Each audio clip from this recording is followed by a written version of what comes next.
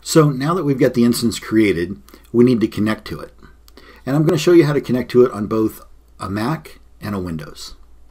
So first on the Mac, I'm going to launch my terminal and I'm going to create a new folder on the desktop and I'm going to call it key.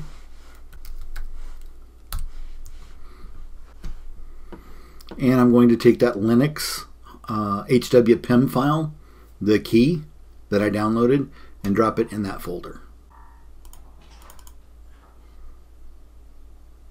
Like that. All right, and now that the terminal is open, and now that the PEM file is in the key folder, I'm going to come up here and click connect. And it'll give me some instructions. So the first thing that I need to do on a, a Mac is change the permissions of the PEM file. So from my terminal, I need to get into this key folder. So right now, I'm in my directory. So I need to get into the desktop, CD desktop, and then I need to get into that key file, CD key. And now that I'm there, I'll chmod I'll ch for changing permissions. I'm going to set the permissions to 400 and I'm going to do it only to that linux-hw.pem file.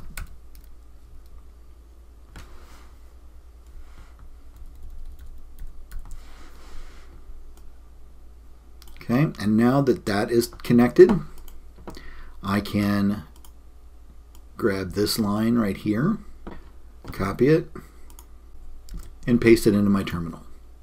So I'm using the SSH utility the dash I tells it which key file I'm going to use.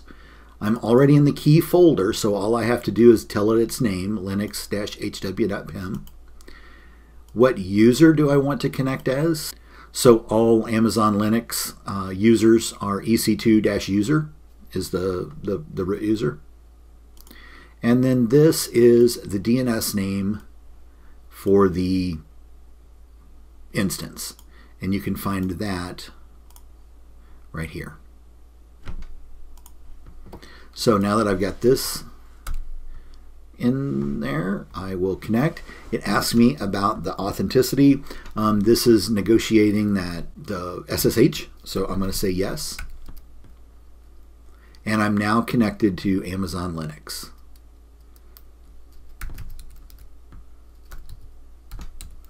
And now I can see I'm in the EC2 user folder, uh, and I know that I'm in, on um, that Linux instance that I created.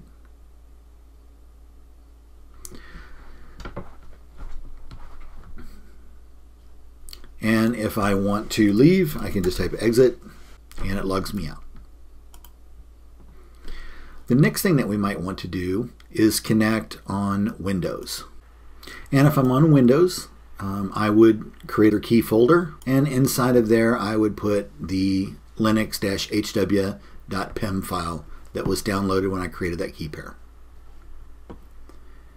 Now, the next thing that we need to do is go to PuTTY and download PuTTY.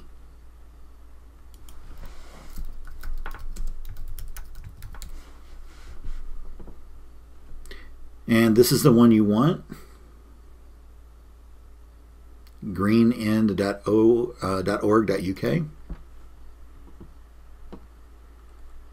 and you can download the installer if you want, or if you just want the executable, you can download that. And you also need to come down and get the PuTTygen.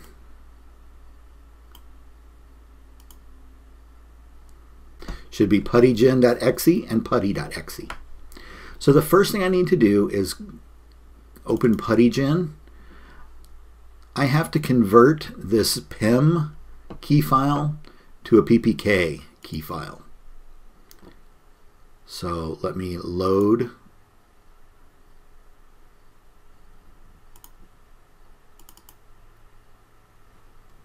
I need to switch it to all files.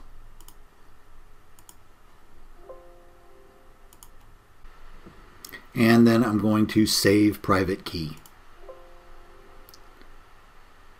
Yes.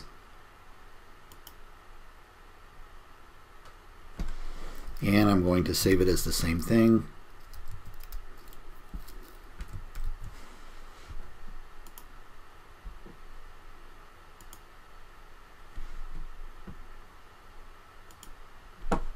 So now in my key file, I have the PEM and the PPK. Let me open PuTTY. And then for my instance, I need to get the public DNS name.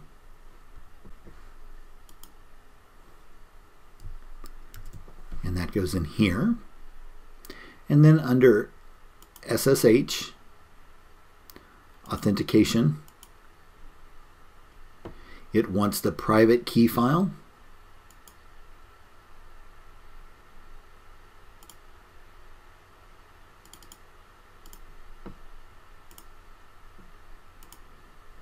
And when I click open, I get this message about the SSH again. I click on yes.